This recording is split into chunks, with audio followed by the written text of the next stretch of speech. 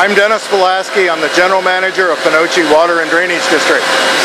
And we are here now at a uh, reverse osmosis plant that is being operated now as a pilot plant to remove selenium uh, from subsurface water.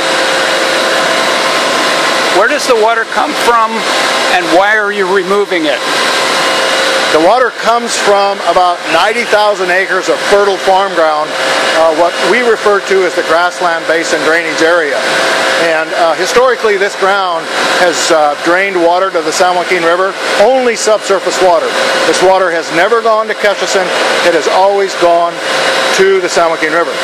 Our goal is to uh, continue to drain this ground, however, to cease discharge into the San Joaquin River.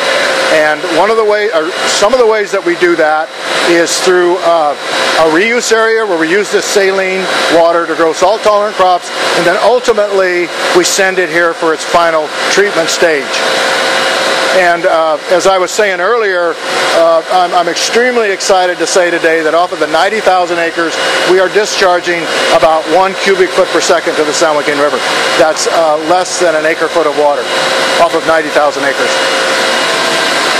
And this has been a long process, Dennis. Tell us how long it's been. Yeah, this process actually started back in 1985, uh, shortly after we had uh, the issues with Kesterson. All of that kind of impacted us because we did have selenium in our drain water. So we started what we call the drainage management program. And uh, the first phase of that was to improve all of our irrigation techniques. And then uh, our second uh, stage of that was to uh, develop a reuse area where we could take this saline water and use it on salt-tolerant crops and, I, am really uh, pleased to say that our salt-tolerant crops have been uh, a fantastic uh, source of revenue for the dairy, uh, from the dairy industry because of the Jose Tall wheatgrass and because of our pistachios.